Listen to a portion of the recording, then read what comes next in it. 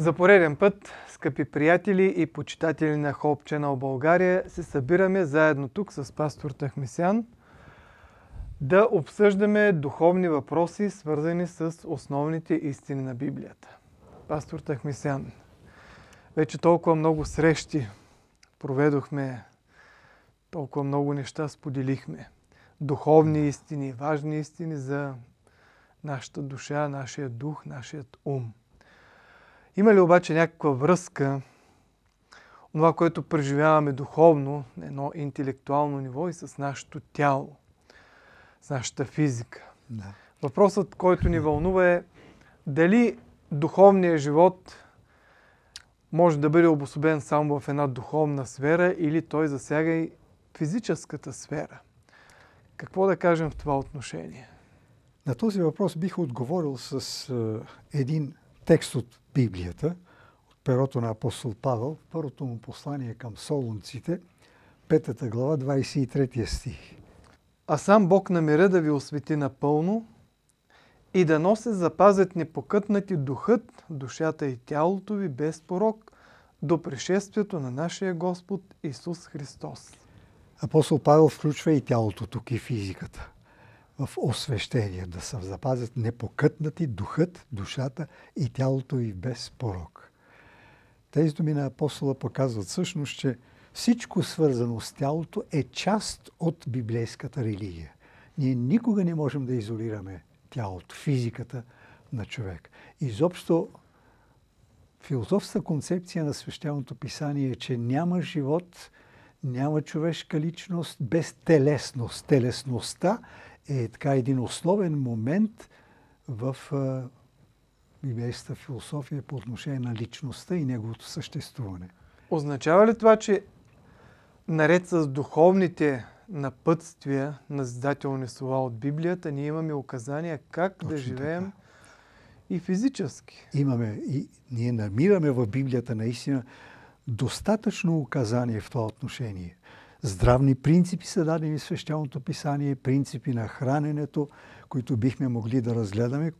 И всичко това показва, че между физиката и духа има тясна взаимовръзка. И това е известно и на самата медицина. А даже е било известно и на древните хора. Например, римският поет Децим Ювенал се проникна, провикнал веднъж Sana mens in sano corpore. На латински това значи здрав дух в здраво тяло. Тясна връзка и взаимодействие между физическото и духовното състояние на човека и ние би трябвало да познаваме тези неща. Бог е загрижен не само за нашето духовно да. просвещение и разбиране на тези небесни послания, които ни изпраща, но Той е загрижен и за нашето ежедневие, как да, да живеем. И християнинът има свещения дълг да поддържа тялото си във възможно най-добро здраве. Възможно най-добро здраве. Кои са тогава основните препоръки на Библията в това отношение? Какво да кажем на нашите уважаеми зрители? Най-напред Библията ни казва, че човешкото тяло, това е Божието желание, Божият идеал за човека, човешкото тяло е храм на Святия Дух храм. Храм. Бог желая нашето тяло да бъде храм на Святия Дух, т.е. Святия Дух да може да живее в нас. При един пияница, при един развратник или един порочен човек, Божия Дух не може да живее. Тук можем да прочетем първо Коринтияни, трета глава, 16 и 17 стихове. Не знаете ли, че сте храм на Бога и че Божия Дух живее във вас? Ако някой оскверни Божия храм, него Бог ще развали, защото Божият храм е свят, а този храм сте вие. Да. Значи апостол Павел изяснява точно тази библейска истина, че нашето тяло е храм на Святия Дух. И както в един храм не може всичко да се внася, в един храм не може да се прави каквото искаме, това е едно свято място, така и нашето тяло трябва да бъде храм Божий за да знаем, и да знаем как добре да го поддържаме. Трябва да познаваме здравните закони. И може би основен закон на, на здравето е храненето, защото както един мислител казва, ние сме това, което ядем. И Библията ни дава строги правила за това. Каква трябва да бъде нашата диета? Бог се интересува от това, с което се храним. Това, с което се храним, да. Ето, когато създаде първия човек, първата човешка двойка, веднага Бог даде и съответната диета. Райската диета. Каква беше тази райска диета? В Битие първа глава, 29 стих. Бог каза, Вижте, давам ви всяка семеносна трева, която е по лицето на цялата земя и всяко дърво, което има в себе си плод на семеносно дърво. Те ще ви бъдат за храна. Значи тук става дума за зърнените храни, житата и плодовете. Една чисто вегетарианска храна. Бог като конструктор на нашата човешка машина най-добре можеше да прецени при какви условия тази машина ще бъде дълговечна и ще се развива добре, ще живее добре. Така че е добре да се съобразяваме с тези неща. Вие разглеждате човешкия организъм като една машина. Да, като една машина, едно, така, един шедьовър на Бог като инженер, който е конструирал нашето тяло. Човешкото тяло е чудо на чудесата. Казват ни лекарите. Имах един братовчет, който беше кардиолог. Той ми казваше, човешкото тяло, казва, е океан, като физиката. А като прибавиш, казва и психиката, става неизбудим океан. Да. Вие споменахте райска диета и напомнихте за една специфична диета, наречена вегетарианска. Вегетарианска, как, да. Какво означава това вегетарианско хранене, райска да, диета? Да. Това е хранене предимно с растителна храна. Да. Той казва, семеносна трева, това са зърнените храни и дърво, което дава плодове, плодовете. Но интересно е, че след грехопадението Бог добави една трета съставка, вероятно поради това, че при грехопадението настъпиха основни промени в организма на човек. И това четем в Битие 3 глава, 18 стих. Тръни и будили ще ти ражда земята, а ти ще едеш полската трева. В този израз ти ще едеш полската трева, богословите виждат, че тази трета добавка е била, са били зеленчуците. Бог добавя и зеленчуците към плодовете. Ти ще едеш полската трева. Добре, но съвременното общество се храни не само с зеленчуци и плодове да. и ядки да. и така нататък, но в а, нашата съвременна диета месото присъства много осезаемо. Осезаемо да. Има ли такива указания в Библията, че може да се еде месо? Да, наистина дойде един момент в историята на човечеството, когато Бог разреши консумацията на местна храна и това става непосредствено след потопа. Това четем в Битие 9 глава 3 стих. Всичко живо, което се движи, ще ви бъде за храна. Давам ви всичко също, както дадох зелената трева. След потопа Бог разреши консумацията на местна храна. И веднага въпросът е защо? Защо Бог разреши консумацията на местна храна? Така, по-маловажната причина е била, че потопът унищожи цялата повърхност на земята. Нямаше храна. Абсолютно никаква храна.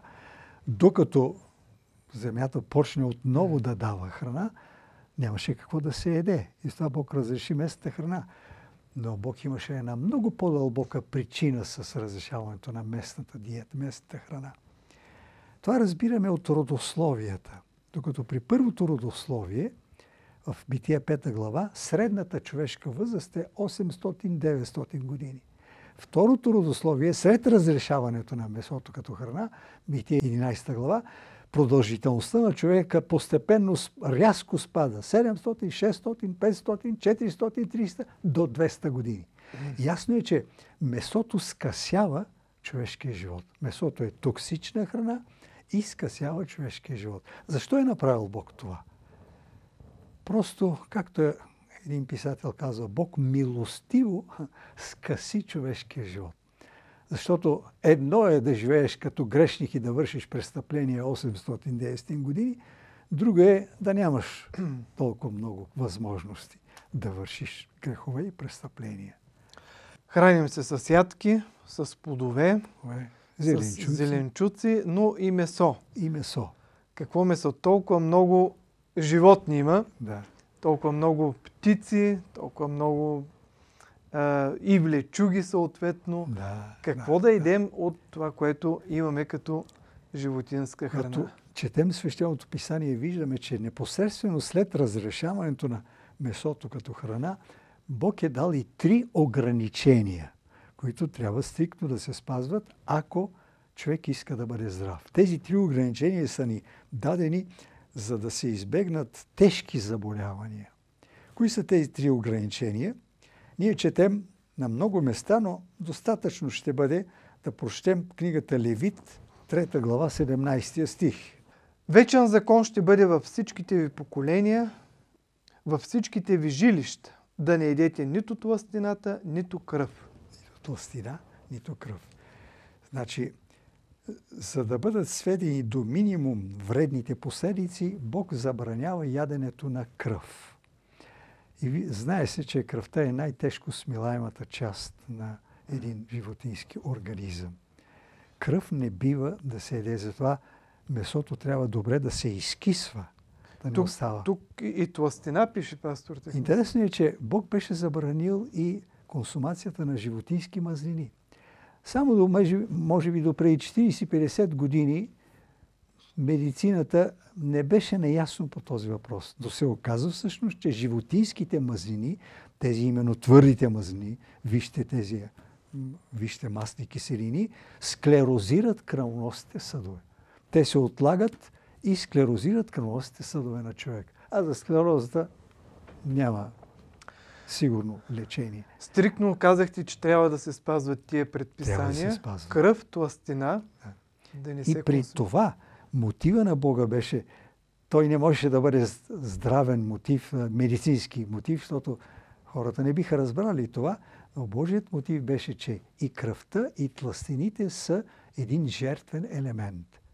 Нали, с кръвта се помазваха роговете на олтаря. Беше, считаше се нещо свят. Тластините пък бях, бяха изгарени на този медния олтар.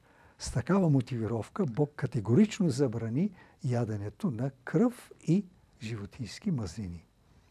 Но Бог даде едно трето ограничение. Това беше вече един подбор на животинските храни. Те бяха разделени на чисти и нечисти. Животните още от, даже от предпотопния предпотопното време виждаме, че се споменават чисти и нечисти. Чисти и нечисти. Чисти и нечисти. Точно така как са Как наречени. да го разбираме това, че има някои животни, които са чисти, а другите да. нечисти? В смисъл, че някои животни, тяхното месо може да бъде консумирано, Бог го е разрешил, докато има други животни, които са наречени нечисти, в смисъл, че Бог е забранил консумацията на тяхното месо. Е, ако някой месо е нечисто, не може ли да стане чисто чрез някаква допълнителна обработка, печене, варене или нещо такова? Да, там е работа, че самите животински меса са твърде специфични и някои от тях, колкото и да се обработват, съдържат вещества, които са вредни и не могат да бъдат по някакъв начин така избегнати и изолирани. Примерно, ние можем да прочетем някои текстове, ще видим, че месото, което твърде много се консумира в България и в много други страни, е свинското месо. Свинското месо? Да, свинското месо, което може би за някои хора е много вкусно, е много вредно. Защо? То нечисто ли е свинско? Да, то е влиза в класта на нечистите меса. Да. Ето, свинското месо е богато на веществото хистамин – а хистаминът играе решаваща роля при всички възпалителни процеси. Правени са просто експерименти. Спира се свинсто месо, възпаленията започват да се подобряват. Аз имам така медицинска литература. Хистамина е в основата на алергичните заболявания. Нали? Освен това, Изследването показва, че съединителната тъкан на свинята е особено богата на сяра. А това довежда до ревматични заболявания и преждевременно износване на ставните хрущяли. Освен това, свинското месо съдържа големи количества холестерин, които склерозират кръвоносните съдове. А и това е свързано и с канцерогенните изменения на клетката. Ето вижте колко вредно е свинското месо. Пастор Тахмисян, много голямо предизвикателство а, се отправя към нашата аудитория. Как така това вкусно месо, свинското, се оказва между нечистите храни? Един искрен християнин, ако иска да бъде напълно послушен на своя небесен баща, и Бог ги е забранил тези неща не за да ни, да ни лиши от някакви вкусни храни и удоволствия, а просто само с добри мотиви, за да бъдем по-здрави. По-добре да живеем. Е, къде го пише това нещо за месото? Ами, Биха... бихме могли, ако желаете, да го прочетем в книгата Левит, 11 глава, от третия стих надолу. Измежду животните всяко, което има раздвоени копита и е с разцепени копита и преживя, него да едете. Обаче от онези, които преживят или от онези, които имат раздвоени копита, да не едете следните. Камилата, защото преживя, но няма раздвоени копита. Тя е нечиста за вас. Криещия се гризач, защото преживя, но няма раздвоени копита. Той е нечист за вас. Дивия заек, защото преживя, но няма раздвоени копита, той е нечист за вас. И свинята, защото има раздвоени копита и е с разцепени копита, но не преживя. Тя е нечиста за вас. От тяхното месо да не едете и до трупа им да не се допирате, те са нечисти за вас. Да. Ето до тук, всъщност, Библията ни казва точно кои животни са забранени за консумация. Има два белега. Да преживят и да бъдат развоени копита. Трудно е да се обясни медицински. Защо именно по този начин, с такива белези, Бог е разделил животните на чисти и нечисти, но така или иначе, ние бихме желали да следваме тези добри указания на свещеното писание. Значи тези, които се движат на лапи, защото има животни, които да. имат лапи, да. от семейство котки и други. Да, да. Котки, кучета и още много други. Дивите животни в гората. Те не бива, те да, не бива да се консумират. Морските дарове, морските Мор... деликатеси. Морските Това е много популярно днес. Да, да, много популярно наистина. Но и там са дадени, както ще прочетем, два белега.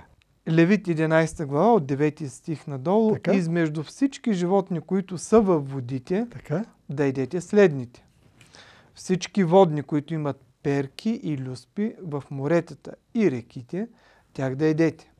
А измежду всичко, което се движи във водите, измежду всичко удушевено животно, което е във водите, всички в моретата и реките, които нямат перки и люспи, те са скверни за вас и да бъдат скверни за вас. От месото им да не едете и от труповите им да се отвръщавате. Всичко във водите, което няма перки, нито люспи, да бъде скверно за вас. Някои обясняват това, защо да нямат люспи. Вероятно, когато рибите минават през нечисти води при пасажите, тези люспи вероятно служат така като броня и не допускат нечисти вещества, и отрови да навлизат в тялото. Може би за това Бог е забранил. Но разбира се, е трудно да се даде така точно здравно медицинско основание.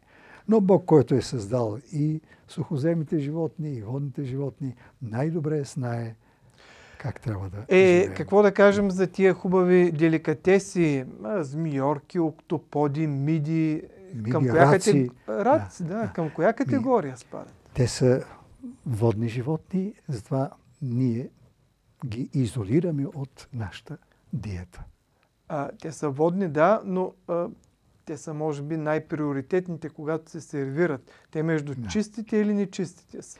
Те са, както се казва, между водните животни да не ядете. Тези, които нямат люспи и перки, тъй като мидите аз съм морянин, аз съм роден на море и съм пораснал море и съм консумирал и миди, раци, и скариди. Да, като че ли са така вкусни храни. Но след като стана християнин, след като опознах тези неща, от тогава аз вече не ям нито скариди, нито раци, нито миди. Защото все пак те влизат в класта на водните животни и нямат люспи и перки. А има такова изобилие от, от риби, водни животни, които имат люспи и перки и които са разрешени за консумация. Бог иска да бъдем здрави и да ни предпази от ненужни болести. Ненужни болести, да. Точно така. Добре, говорим за животните, говорим за рибите. А какво да кажем за птиците? За птиците. Там като четем следните стихове, не са дадени някакви белези, защото не всички видове могат и да се идентифицират. Те имат различни имена, точно, но общо взето се вижда, че това са предимно гръбливи птици или птици, които се хранят с мърша. Тези птици са забранени, забранени за храна. Да прочетем Да, можем да ги прочетем, да. Книгата Левит, 11 глава, от 13 стих надолу. Измежду птиците да не се докосвате до следните, да не се едат, понеже са скверни. Орелът, лешоядът, черният лешояд, червената каня, черната каня според видовете й, всяка врана според видовете й, кукумявката, совата, чайката, ястребът, малкият бухал, корморанът, големият бухал, белият бухал, пеликанът, рибарят, штъркелът, чаплата, папунякът, прилепът и надолу говори за пълзящи. Да, пълзящи животни също са, са забранени. Значи змии... Змии, жаби, мишки, защото има много места в света, където се ядат плъхове, мишки, змии и така нататък. Да, всичко това всъщност е забранено. За нас в нашата страна те са противни тия. Да. Тук в България не се консумират такива неща. Тук пише следното, ето така пред очите ми е, измежду тях можете да едете следните скакалеца да. и малкия скакалец. Какво означава? Ние в България не едем скакалци. Ние не едем. Но ето те са позволени. Но там в Палестина, вероятно, това са били вид скакалци, които Бог е пресенил, че не съдържат вредни вещества и биха могли да се консумират. Добре, райската диета като че ли е нарушена вече има има разрешение за месото. Разрешение, за, за месото има.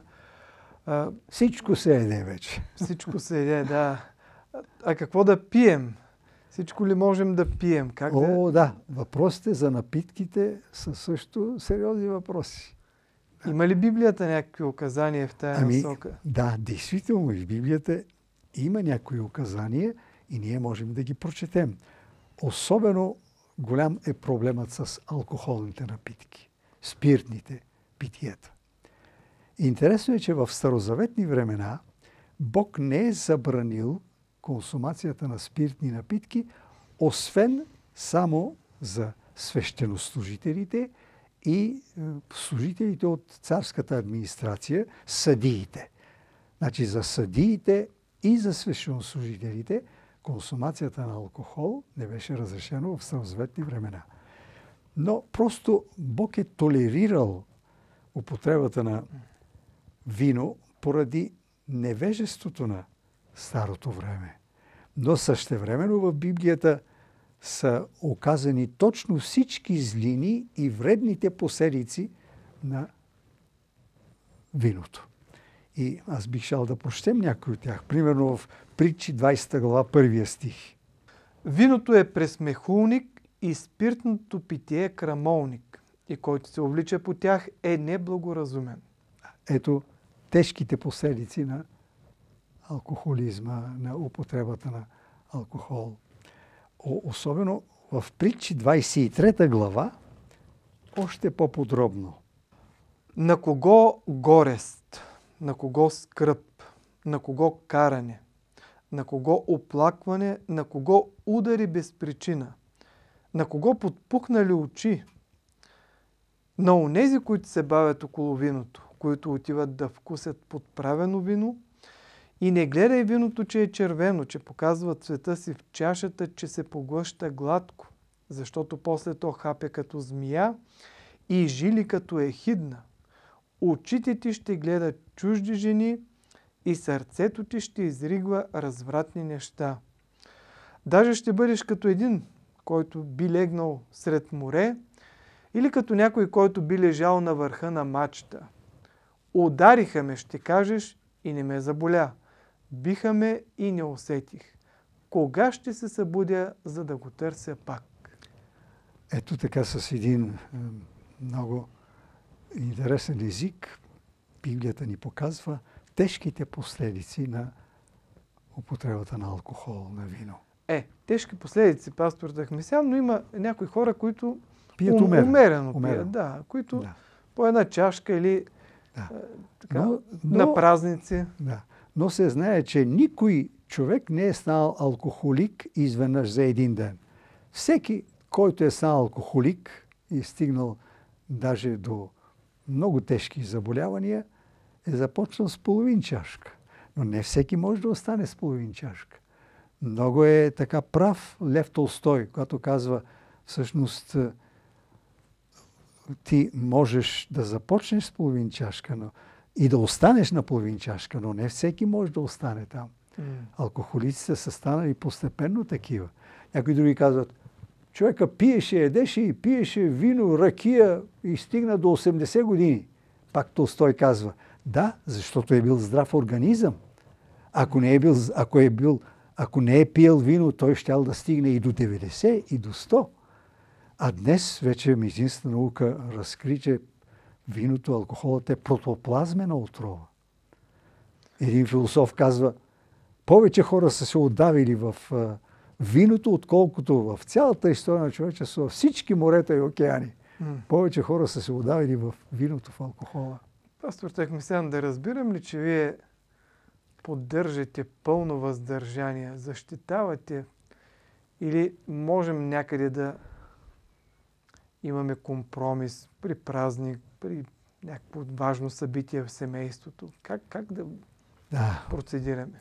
Специално нашето становище, аз съм адвентист от седмия ден, е, че тъй като алкохолът е голямо социално зло, едно от най-големите социални злини, колко народ е загинал, колко семейства са били разрушени, колко добри неща са били пожертвани в алкохола. Затова ние считаме, че пълното въздържание е най-доброто нещо. Нито, ние казваме нито чашка, нито капка. Разбира се, има много лекарства, които са на алкохолна основа, но това са лекарства. Като напитка не бива да се използва алкохол. Говорим, скъпи приятели, за здравословния начин на живот и християнството и Библията и пастор Техмисян ни въвежда в някои важни а, житейски истини и съответно подкрепя своите аргументи с а, библейски текстове. Пастор Техмисян, говорим за вредните неща в момента. А, какво да кажем за тютюнопушенето? Вече много демонстративно и всъщност държавата го изисква тютюнопроизводителите да поставят на кутиите с цигари последиците от тютюнопушенето. Да. Има ли Библията становище по този въпрос? Да, разбира се. Принципът Библията е всичко, което е вредно, трябва да се преустанови. По времето на написването на свещеното писание хората не се познавали тютюна, нали? Но след като медицината днес изясни, че никотинът е много силна отрова, такъв случай, след като Библията казва, вашето тяло е храм на Святия Дух и ние сме длъжни да запазим здравето си във възможно най-добро състояние, ние напълно трябва да се откажем от тютюнопушенето. Е, мога да бъда християнин и да подхождам избирателно към тия неща. Възможно ли е така? Защото все пак съм човек. Да, но след като имам всички тези предупреждения в Свещеното писание, аз искам да бъда послушен на Моя Небесен Отец и по отношение на здравето. И не само това. Ми защо човек трябва да боледува, да страда, да се измъчва, след като има начин да не стига до тези неща? Както и опиятите, наркотичните вещества. Ето сега статистиката са колко, колко хора са открити с наркотични вещества, колко хора умират по пътищата, загиват от всички тия неща. Защо да не си спестим тези болки и страдания? Човекът е разумно същество. Homo sapiens. Защо трябва да допуска всичко това и да страда?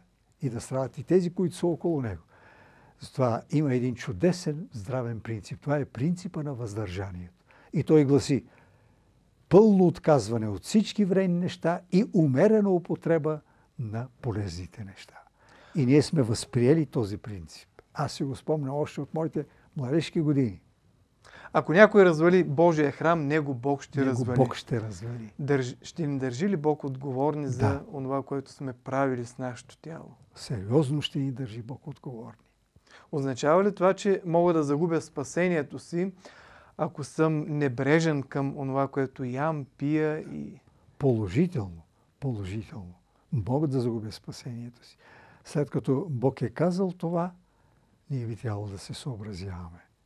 Значи това ще бъде израз на непослушание от моя страна Точно да така. пренебрегна. Точно така. Само храненето и пиенето ли са съставките на здравословния начин на живота? Разбира се, има и много други неща, които, с които можем да се съобразяваме, но Елон Вайт, за която говорихме в миналата беседа, е, ни е дала и много здравни норми. Нали, има една чудесна книга, заглавена Диета и храна. В нея са описани много принципи на здравето, които ние трябва да спазваме. По-често да излизаме на слънце. Нали, повече движение трябва да има. Днес съвременният свят е обездвижен с тези компютри и всички други неща. Трябва да има повече движение. Движението е живот. Трябва да има чист въздух, трябва да се пие чиста, чиста вода. И разбира се, на едно последно място и една жива вяра в Бога. Бог е нашият велик лекар. Ние трябва да се доверяваме на Него. Пишал да прочетем, и това ще бъде последният текст, Първо Коринтяни, 10 глава, 31 стих. И така едете ли, пиете ли, вършите ли нещо, всичко вършете за Божията слава. Тук апостол Павел ни е сламдил с един чудесен, универсален принцип на живота. Ядете ли, пиете ли, нещо ли вършите. Винаги, когато ние трябва да решаваме да правим нещо или да не го правим, да консумираме или да не консумираме, трябва да се съобразяваме с това. Това ще бъде ли за Божия слава? Ако аз имам здрав организъм и здраво тяло, благодарение на това, че съм се стремял да спазвам тези принципи, моето здраво тяло е за Божия прослава. Но ако аз не съм спазвал тези принципи и заболея от тежки болести, това ще бъде ли за Божия прослава? Или ще бъде за охулване на Божието име? Всичко вършете за Божия слава, казва тук апостол Павел. Благодаря ви, пастор Техмесян. С тези последни думи приключваме и ние и с пожеланието наистина Бог да освети нашия дух, душа и тяло до пришествието на нашия Господ Исус Христос.